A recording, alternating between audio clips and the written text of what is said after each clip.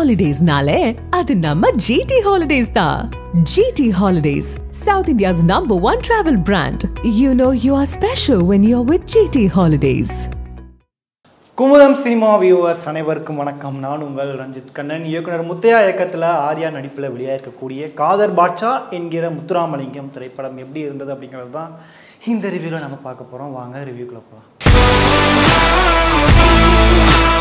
தன்னுடைய அண்ணன் அக்கா ரெண்டு பேரும் ஒரு கொடூரமான குடும்பத்தில் வாக்கப்பட்டு இறந்து போனதுனால அண்ணன் அக்கா மகள்களோட தனியாக வாழ்ந்துட்டு இருக்காங்க சித்தி இத்ஞானி ஆனால் அந்த வீட்டில் இருக்க பெருசுங்க எல்லாரும் சேர்ந்து சொத்துக்காக சித்தி இத்ஞானியையும் அந்த குடும்பத்தில் கட்டி கொடுத்துடணும் அப்படின்னு ஒரு பிளான் பண்ணிக்கிட்டு இருக்காங்க.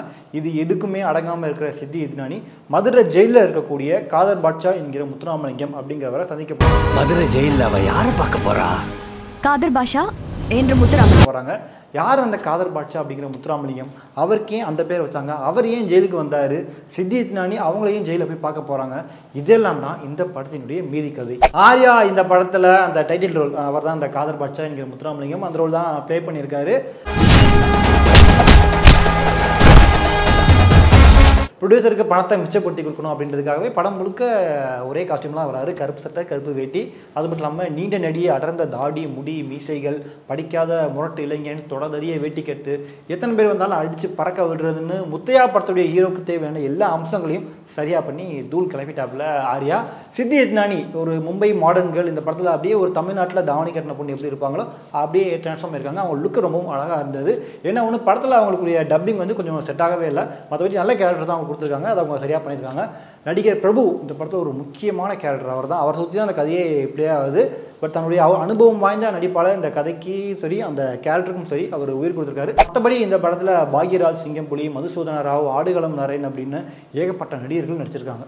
இயக்குனர் முத்தையா இந்த படத்தை டைரக்ட் பண்ணியிருக்காரு. இதுக்கு முன்னாடி பண்ண படங்கள் எப்படி இருந்ததோ அதே டெம்ப்ளேட்டில் அதே பேட்டர்னில் தான் இந்த படத்தையும் கண்டினியூ பண்ணியிருக்காரு.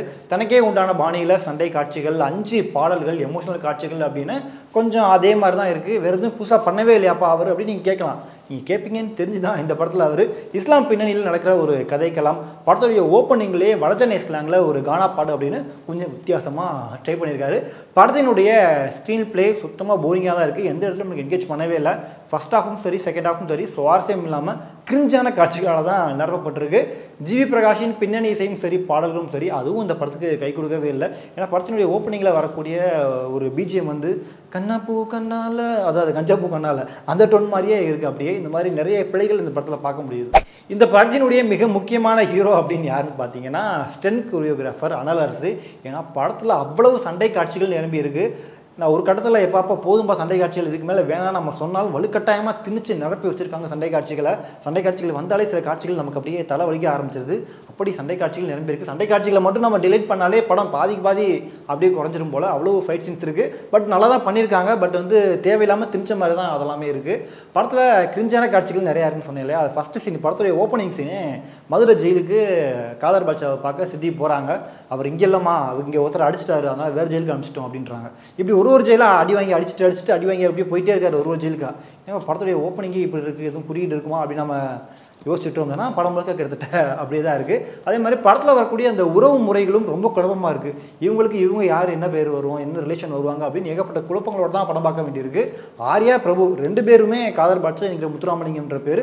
ரெண்டு பேருக்குமே தான் இருக்குது ஆர்யாவுக்கான பெயர் காரணம் என்னன்றதை சொல்லிட்டாங்க. பட் பிரபுக்கும் அந்த பேர் வச்சிருக்காங்க. அதுக்கு எதுக்கு காரணம் அப்படிங்கிறது தெரியவே இல்லை கருத்துக்கு சொல்லவே இல்லை என்னப்பா நீ படத்தில் பாசிட்டிவாக எதுவுமே இல்லையா? எல்லாத்தையும் குறையாவே சொல்லிக்கிட்டு இருக்க அப்படின்னு நீங்கள் கோவப்படுறது எனக்கு கேட்குது படத்தில் பாசிட்டிவான விஷயங்களும் இருக்குது அதில் முதல் விஷயம் இந்துக்களும் இஸ்லாமியர்களும் ஒற்றுமையாக இருக்கிற மாதிரி காட்சிப்படுத்தியிருக்காங்க. இந்த படத்தில் அது ரொம்ப அழகாகவே இருக்குது ஏன்னா இன்றைக்கி இருக்கக்கூடிய அரசியல் சுச்சுவேஷனில் அது ரொம்ப முக்கியமான ஒன்று என்ன தான் அந்த அல்லாவும் அயனாரும் ஒன்று அப்படிங்கிற வசனம் கொஞ்சம் கிரிஞ்சாக தெரிஞ்சாலும் அது உண்மையான ஒரு விஷயம் தான் ஏன்னா இப்போ இருக்கக்கூடிய காலகட்டத்தில் அது வந்து நம்ம ஒற்றுமையாக இருக்க வேண்டிய விஷயம். அதை இந்த படத்தில் அழகாகவே காட்சிப்படுத்தியிருக்காங்க. இங்கே இருக்கிறவங்க மார்க்கத்தை தான் மாற்றிருக்காங்க மண்ணை மாற்றலை இஸ்லாமியர்களை மாமா மச்சான் கூப்பிட்டுக்கிறது ரெண்டு மதத்தினரும் ஒற்றுமையாக ஒன்றா உட்காந்து முடிவெடுக்கிறது அப்படின்னு அந்த காட்சிகளை பார்க்கறதுக்கே அழகாகவே இருந்தது. அது மட்டும் இல்லாமல் படத்தில் வரக்கூடிய வசனங்கள் மாட்டை வச்சு அரசியல் பண்ணுறதெல்லாம் இங்கே வேலைக்கு ஆகாது கரை வெட்டி கட்டினவங்கள உள்ள விட்டாலே பிரச்சனை தான் அப்படின்னு சில வசனங்களும் படத்தில் நல்லா இருந்தது. படத்தில் ஒரு விஷயம் நோட் பண்ண முடிஞ்சது. என்ன அப்படின்னா இந்த படத்தில் ஆர்யாவுக்கும் சித்தி ஞானிக்கும் கல்யாணம் ஆயிரும். கல்யாணம் ஆகி முடித்த உடனே ஆர்யா காலில் விழுந்து இவங்க ஃபஸ்ட் நைட்டில் ஆசீர்வாதம் வாங்குற மாதிரி ஒரு சீன் காட்சிப்படுத்திருப்பாங்க அந்த சீன் பார்த்த உடனே சார்பேட்டா பரம்பரை தான் நமக்கு ஞாபகம் வந்துச்சு. சார்பேட்டா பரம்பரை படத்தில் வந்து ஆர்யா காலில் விழுகிற மாதிரிலாம் இந்த சீன் இருக்காது. ஸோ அதே ஆர்யா தான் இந்த படத்துலையும். ஸோ இயக்குனர்கள் ஒரு நடிகரை எப்படி தங்களுடைய கேரக்டருக்கு ஏற்ற மாதிரி பயன்படுத்திக்கிறாங்க எவ்வளோ வித்தியாசங்கள் இருக்குது அப்படிங்கிறத அந்த சீனில் நம்ம உணர முடிஞ்சது. இன்னொன்று இயக்குனர் முத்தையா இந்த ஜோனை விட்டு வெளியே வந்து வேற ஒரு கதைக்களம் பண்ணணும் அப்படின்னு நினச்சாலும் நடிகர்கள் தயாரிப்பாளர்கள் அவருக்கு இந்த மாதிரி ஒரு அன்பான அழுத்தம் கொடு கொடுக்கறதுனாலேயே அவரால் வேற படங்கள் பண்ண முடியலையோ அப்படின்ற ஒரு கேள்வியும் இந்த இடத்துல நமக்கு வருது.